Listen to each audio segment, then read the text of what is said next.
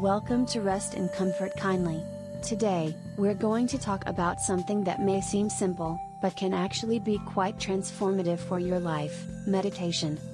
Now, before we start, let's debunk a common myth about meditation. You don't need to be a yogi or a spiritual guru to meditate. All you need is a quiet space and a few minutes of your time. So, let's get started.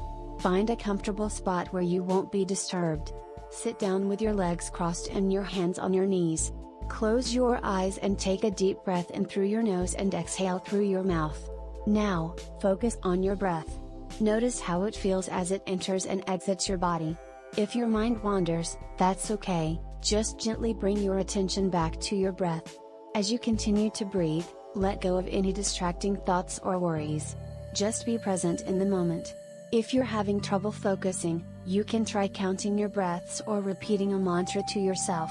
A simple one could be I am calm and at peace. Keep meditating for as long as you'd like, even just a few minutes can make a difference in your day. So there you have it, meditation made simple.